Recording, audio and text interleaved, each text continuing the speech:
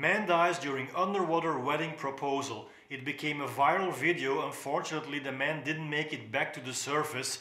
What should have been the best day of his life turned out to be an absolute catastrophe. In this video, I will break down what we can see on the footage, what happened, what I think as a professional freediver happened, and how we can prevent it. Coming up. What's up, Gert from GertLeroy.com with Master Freediving. Thank you so much for stopping by. I'm a freedive instructor, I dive from Brevoort, and this channel is all about helping you master freediving, including tutorials, stories, and the latest news from the freediving community. And today I'm gonna break down the footage that is available of a fatal incident that happened in September 2019. A man died while proposing to his girlfriend underwater. So if you're new here, consider subscribing, hit the notification bell so you don't miss out on any of my future videos. Alright guys, so the reason I decided to make this video is because I don't want these incidents to happen to anyone. So if I can contribute to educating people around the world on how a dive can be done in safer ways or how you can avoid uh, getting into critical situations while freediving, then I think it is my task as a freediving instructor to do so. So this video is by no means uh, meant to point fingers at anyone. The only reason I'm making this is to give you my personal view, me as a pro freediver, as an athlete, as an instructor. I want to tell you what I see on this uh, footage that is available, the footage that was shot by his girlfriend, and how we um, could have prevented uh, this uh, tragic uh, incident. The article states, we don't know yet if he was injured on the way up, if he hit his head on something, or if he had a heart attack. We really don't know all of the details yet, other than he did drown. I think it is a human thing to look for external factors, some kind of a deus ex machina that's uh, suddenly popped up and caused uh, the death of this man. But when we look at the footage, I think uh, things are pretty obvious. So um, let's do this. So let's talk first a bit about the setting. So the couple was in a hotel room uh, which was anchored uh, 10 meters or 32 feet underwater. When you look at the window, uh, the window is of course a bit higher than the bottom of this uh, cabin, this hotel room, so we can um, more or less assume that the window was somewhere around 8 meters, between 8 and 9 meters. Now 8 to 9 meters, almost 10, is already a pretty challenging dive if you have no experience in freediving. So what do we see? So the diver goes down and he's staying like on the top of the window. He's like almost out of the canvas. Now this is already a first indication that things were more difficult than he thought it would be because if he was very confident, if this was um, an, an, easy dive, then he would just go to the middle of the window right in front of his girlfriend and show the note and the ring. The fact that he's staying on top almost out of the canvas shows that he is already struggling. So what's going on here? He is obviously fighting the positive buoyancy. So on the first, let's say 10 meters of a dive, you are, uh, depending on the weights you're wearing, but this, uh, this man is not wearing any weights, uh, which makes him even more uh, positively buoyant. So he's fighting the positive uh, buoyancy, which means he has to um, use a lot of force, uh, a lot of energy to go down and to even stay at the same level. Now when we take a look at uh, the moment when his head goes again a little out of uh, the canvas, out of the window, so he's floating back up, you can see if you pause the video that there are some bubbles coming out of his mouth. Now, I have looked at this footage many, many times, and in the beginning, I really didn't see that. It's only when I decided to make this video that I started looking deeper into this. There are bubbles coming out of his mouth. This is something we don't do in freediving. An involuntary exhalation is a sign of big troubles. We say in freediving bubbles or troubles. Now, experienced freedivers, they know how to dive on exhalation, but that is something completely different. Uh, when we dive as experienced freediver on either FRC, functional residual capacity, or RV residual volume, those are techniques for, for uh, advanced freedivers, and we do this on the surface, so we exhale on the surface and then we go uh, down.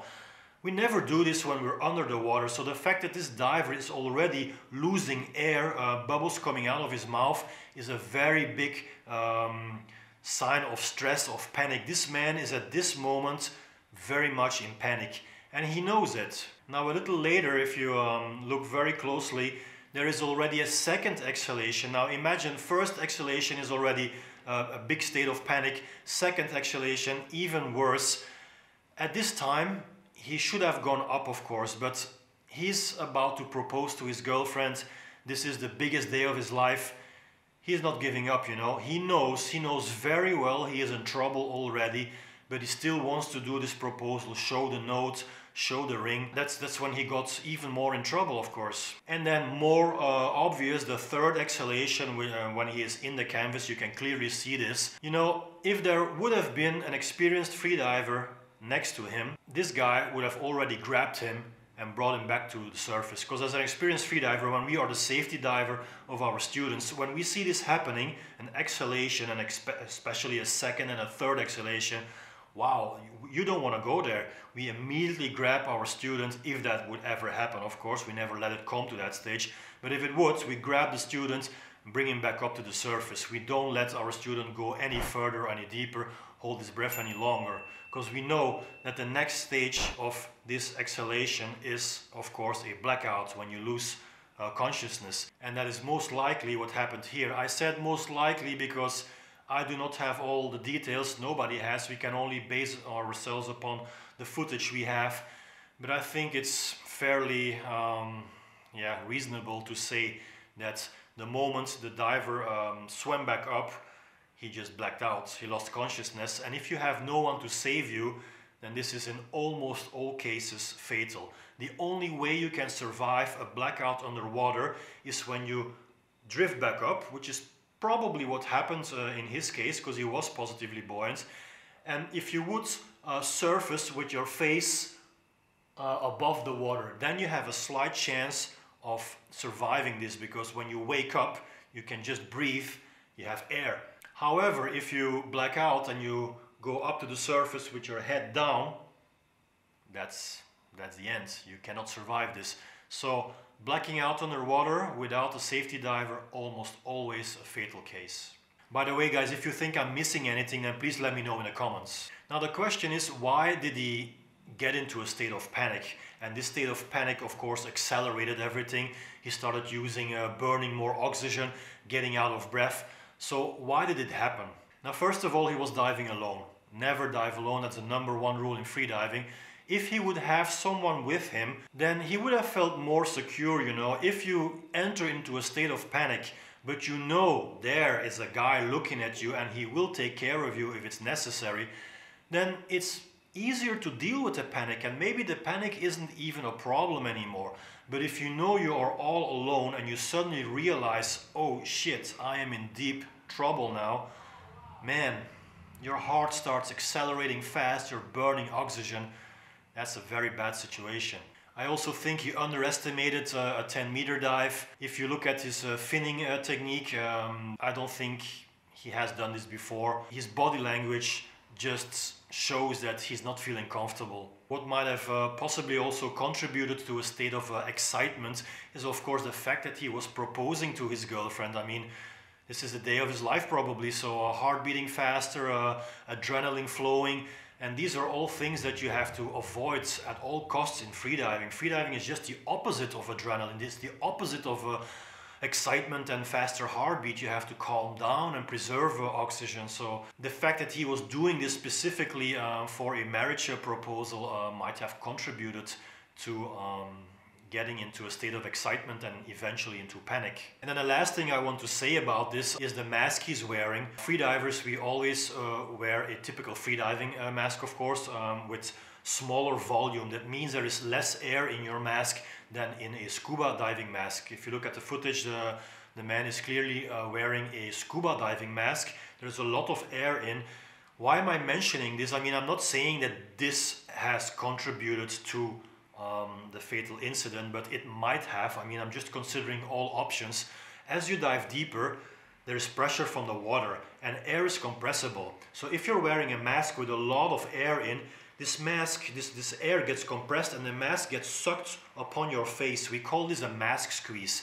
If you are not prepared for this, then this might feel very, um, very scary, you know. So maybe this happened also that his mask, as he dived deeper, was getting sucked onto his face and it's a bit like an octopus is sitting on your face trying to suck out your eyeballs. You can imagine if you feel something like this and you are already um, not feeling that confident, this contributes even more to um, getting to a state of panic. So when he finally shows the ring and he quickly swims back up, it was already too late. So my take on this is that he uh, blacked out uh, little seconds after he uh, swam back up.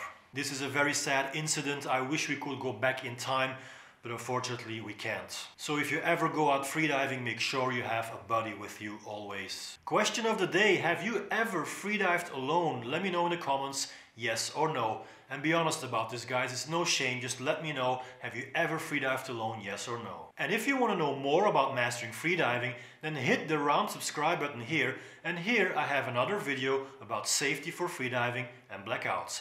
So go ahead and click on that. That's it guys, see you next time. Peace.